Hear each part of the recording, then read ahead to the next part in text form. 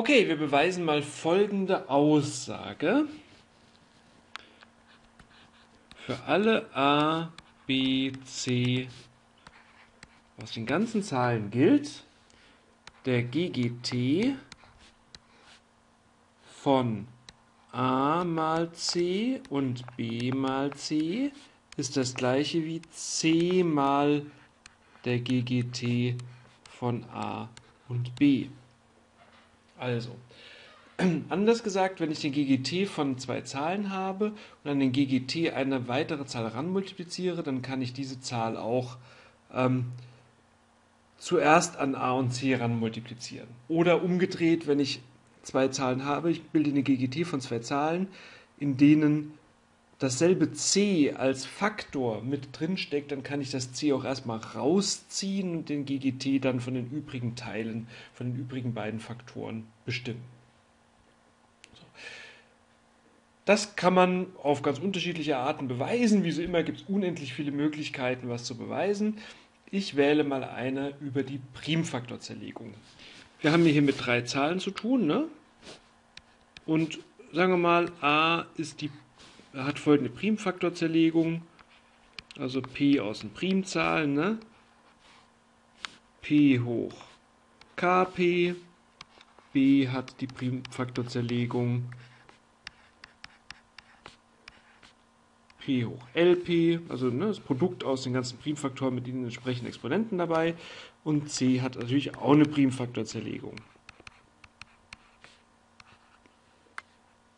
Nehmen wir mal mp. So. Also jede dieser drei Zahlen hat eine eigene Primfaktorzerlegung. Gut. Ähm,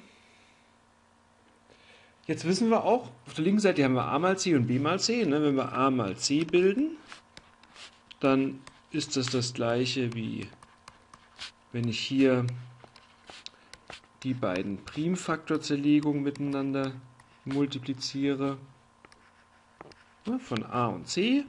Und das heißt, ich kann aber jeweils, weil das ja ein Produkt ist, Produkt von Produkten, ja, ich kann das Kommutativgesetz anwenden, ich darf die ganzen Teile durchtauschen und ähm, aufgrund der Potenzgesetze wissen wir, wenn wir zwei Primzahlen miteinander oder zwei Zahlen miteinander multiplizieren ähm, oder zwei Potenzen miteinander multiplizieren mit derselben Basis, dann können wir die Exponenten addieren. Das ist also das gleiche wie wenn ich das hier zusammengefasst hinschreibe. Ne, Moment, das muss weg. So. P hoch Kp plus Mp. Ich kann zu jeder Primzahl die dazugehörigen Exponenten der Primfaktorzerlegung in a und c addieren. Das gleiche auch für b und c. Das brauchen wir jetzt nicht unbedingt hinschreiben. Das bedeutet aber, also gut, komm, schreiben wir es mal kurz hin. b mal c ist gleich. Was ist bei b hier der Exponent LP? So. Und auch hier können wir die jeweils zueinander zugehörigen Exponenten addieren. So. Gut. Ähm, was müssen wir jetzt zeigen? Wir müssen zeigen, dass diese Seite gleich dieser hier ist. Was wir auch noch wissen, ist, oder ne, fangen wir mal an. Wir müssen also hier die Gleichheit von zwei Seiten zeigen und das können wir auch wieder so machen, wie wir es immer machen oder oft machen, dass wir versuchen, auf der einen Seite anzufangen und auf der anderen rauszukommen. Wir können vielleicht auch die Rückwärtsstrategie anwenden, müssen wir mal sehen. So, der GGT von A mal C und B mal C ist der GGT von diesen beiden Primfaktorzerlegungen hier. Ich schreibe es nochmal ausführlich hin. Also, hoppala, wieder verschrieben. Und, uh, so. KP plus MP haben wir hier im Exponenten stehen. Oh, ich habe die Primzahl vergessen. Moment, ah. Mehr Konzentration hier.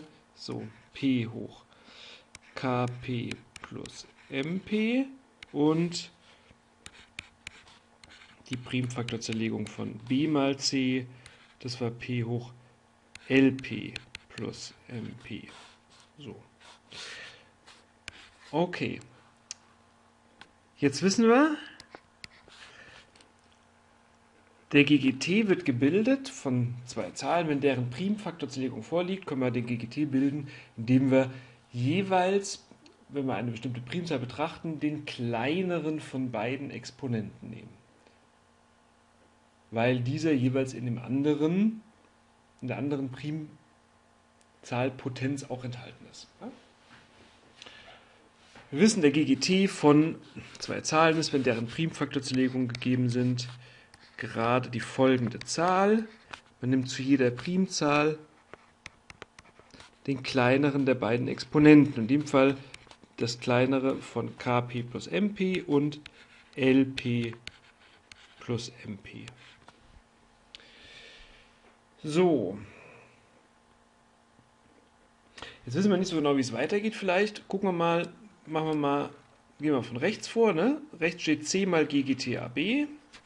Wenn wir weiter hier unten hinschreiben, ist gleich c mal ggt von a und b. Und jetzt wissen wir ja, ähm, ja, hier haben wir nur noch Prim, haben wir nur noch diese Primfaktorzerlegungsdarstellung, die machen wir unten vielleicht auch mal. Also werden wir mal c, a und b los. Was war nochmal c? Das war p hoch, weiß ich gerade nicht mehr, mp, genau, so. Jetzt multiplizieren wir daran den GGT von a und b. Der GGT von a und b ist, wenn die Primfaktorzerlegungen gegeben sind,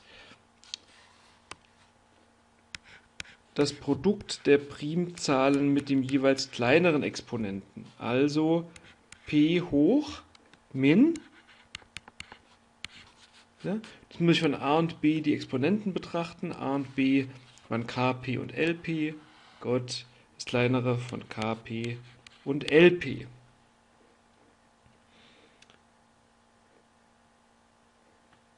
So.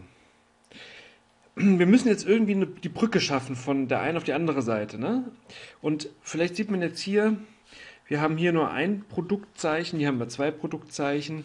Hm vielleicht kriegen wir das hin, dass wir äh, hier auch ein Produktzeichen rausmachen und dann müsste sich ja alles oben im Exponenten abspielen. Oh, jetzt habe ich mich hier vertippt ein bisschen. So. So.